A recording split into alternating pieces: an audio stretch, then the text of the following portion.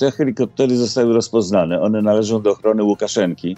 Łukaszenko w tym czasie przyjechał do swojej rezydencji na terenie Puszczy Białowieskiej. To jest w miejscowości Wiskule, o 7 kilometrów od granicy, ale jeszcze bliżej granicy jest takie ulubione przez niego jezioro Lackie, to są 2 kilometry od granicy.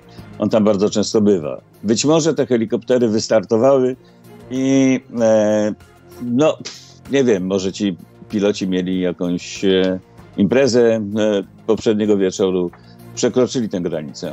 Ja nie wykluczam oczywiście tego, że to było świadome działanie, że to było prowokacyjne działanie, ale nie odrzucałbym całkowicie możliwości, że był to pewien niefrasobliwy przypadek.